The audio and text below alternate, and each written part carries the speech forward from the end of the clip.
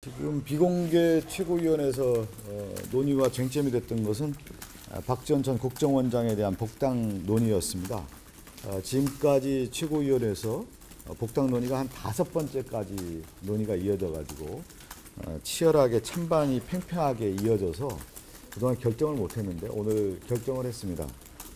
오늘 어, 대승적 차원, 대통합 차원에서 아, 당 대표가 아, 박지원 전 원장의 복당을 수용하자라는 의견에 대해서 아, 최고위원들께서 어, 수용하는 모습이었습니다.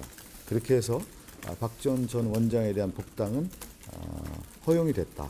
복당 신청을 받아들였다. 이렇게 말씀드리겠습니다.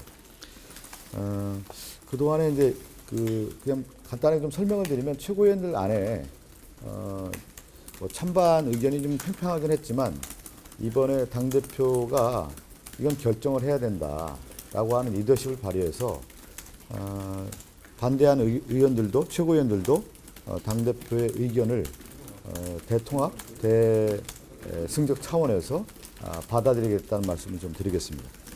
이상입니다.